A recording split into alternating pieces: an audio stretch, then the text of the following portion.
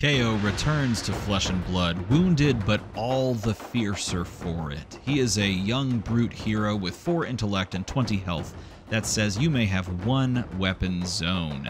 Attack action cards you own get plus 1 attack while they are in any zone other than the combat chain.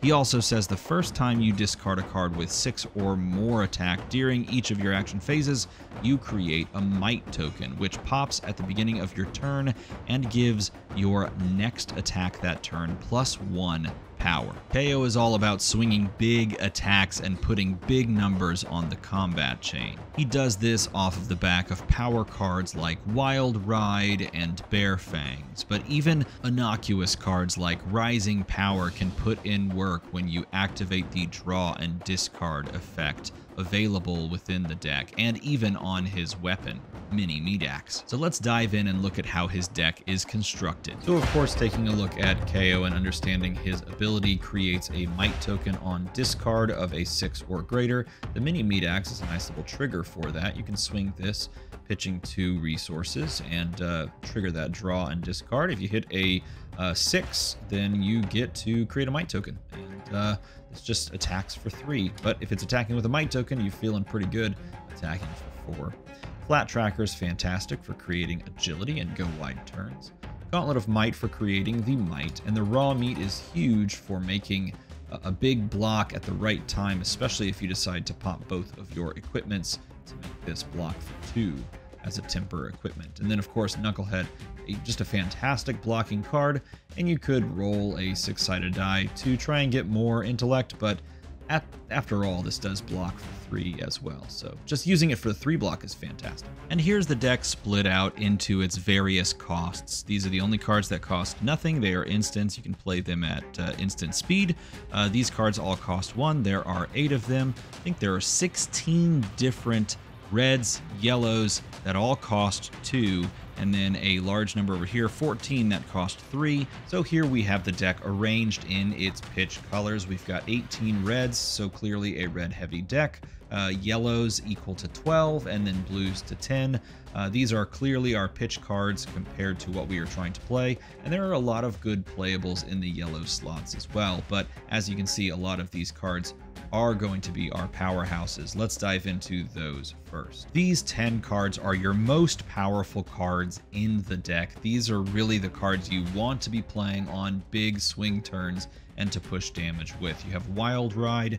Uh, when this attacks, draw a card, then discard a random card. If you hit a 6, this gets go again, so essentially you're paying for this, drawing and discarding, creating a Might token, and then pushing more damage hopefully after the fact. So put this into the arsenal keep a five card hand total, and then send Wild Ride to kick things off. And then, of course, Bare Fangs as well, a very powerful option. When this attacks, draw a card, discard a random card, and then if you discard a 6, you get plus 2 on the attack.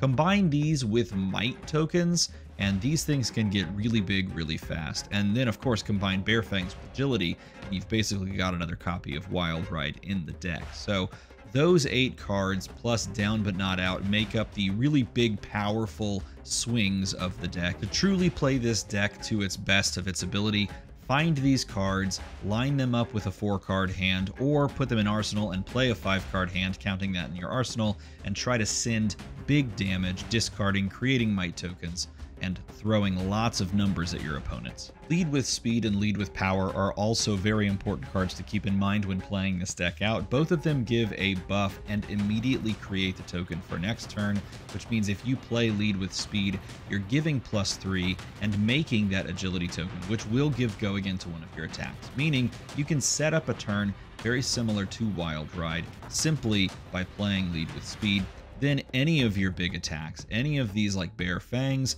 or even Down But Not Out, can have go again. Even your vanilla attacks, Rising Power, can all of a sudden threaten a whole lot of damage. So that number goes up and up, and you can push big, big numbers at your opponents. Rally the rear guards and run into trouble make up more of a defensive package within the deck. Technically, these cards do count as playable attacks. You can throw them out there and they can deal some damage, but you can also use them for their effect. Once per turn, as an instant, you can discard a card, and then this card, while it's blocking, will gain plus three. So if in effect these become a block five at the cost of a card, which is quite cool and very flexible for a deck that does run some no block cards.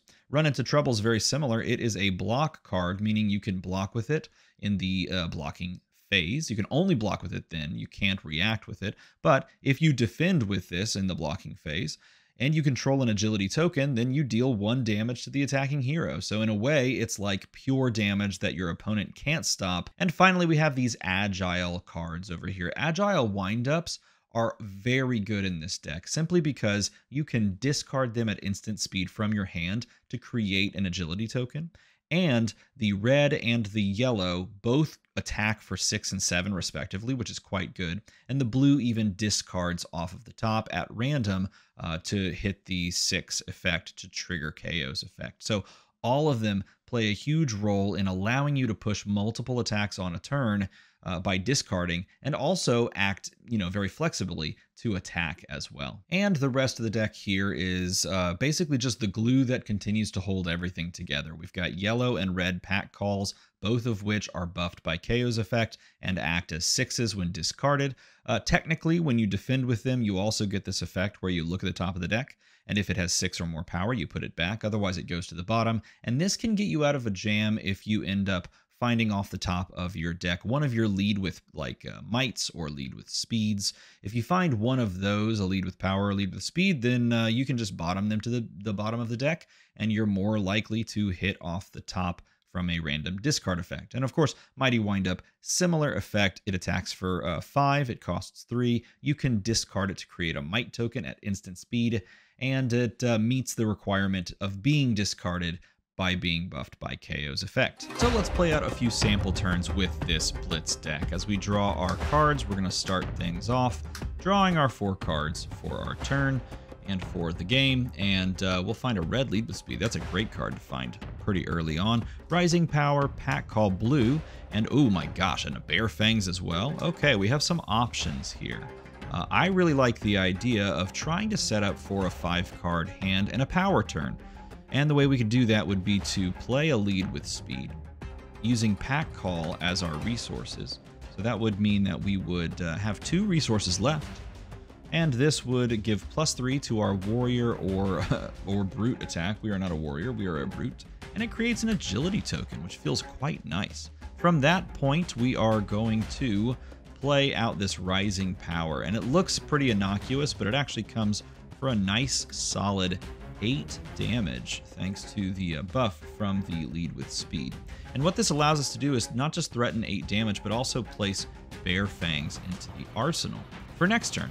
So, if our opponent takes some amount of damage or gives us some cards, then we can pass over nicely and easily and draw up. So let's see what we draw into, see if we can have a power turn. Lead with power. Okay, Wild Ride feels good. Ah, okay, we have some good cards. Now, it's not a very good blocking hand. As you can see, two of these cards do not have block values, but if we hold on to it, then we might be able to have some big fireworks on this turn. Agility pops, and it means that we can start with Bare Fangs from Arsenal.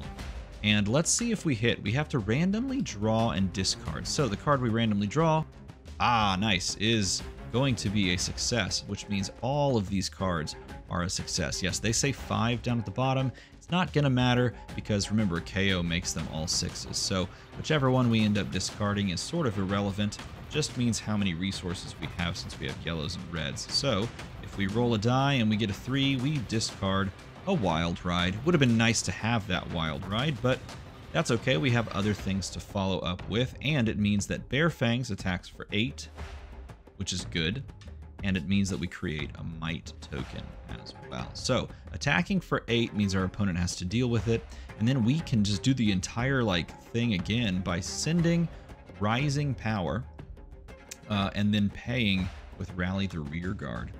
And in doing so, we're sending for seven because technically we drew a card off of the effect here. We drew a card and discarded a card. So we represented 15 damage on this turn and we get to arsenal another Bare Fangs. And the, the cool thing about this is you can kind of do it all again next turn. And some final tips. Keep in mind that the discard effects within this deck are going to slowly but surely push you into a fatigue state. If you run out of cards because you're discarding cards and playing cards, your opponent could recognize that and play towards that. So stack up your big cards for big turns. Try to line up Bare Fangs and Wild Rides onto a five card hand type turn so you can push over the defenses and really kill your opponent before they have a chance to run you out of cards. And also keep in mind that there are a ton of little synergies towards that discard mechanic and that might generation mechanic on Kayo's effect. So if you toss an agile windup on your opponent's turn,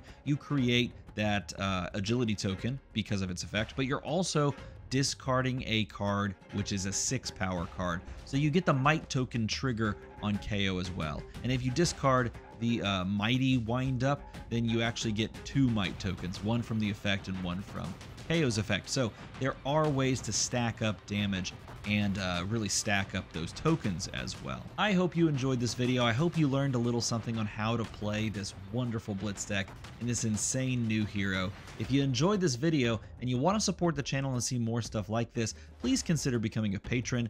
Anyone that's a patron really supports this channel and really kind of pushes this channel onward and upward into greatness. And uh, if you want to press a button to make a number go slightly higher, in 200 subscribers, we're going to open an Arcane Rising First Edition box, and you may end up winning a pack on me from that box break. So press the button, make it go slightly higher, and we'll have some good times. As always, thanks for watching.